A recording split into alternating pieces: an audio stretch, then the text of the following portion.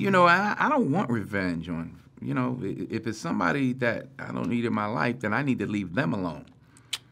If we got into the place where I, I need revenge, then I hung around too long. Me personally, I prevention. I try to avoid situations, but when life happens, uh, there is a moral compass. You have to remind yourself that um, hurting someone else hurts a lot of other people, including yourself.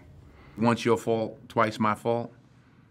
So, That's true, actually. Yeah. Yeah. No, that's Why are you facts. Yeah. yourself? why, how, why'd you, how'd you get it? How'd I get in this position? Yeah. How did my hands end up around his neck? Right. right. It's like, Wait a minute. wait, what am I? I might as well finish the job.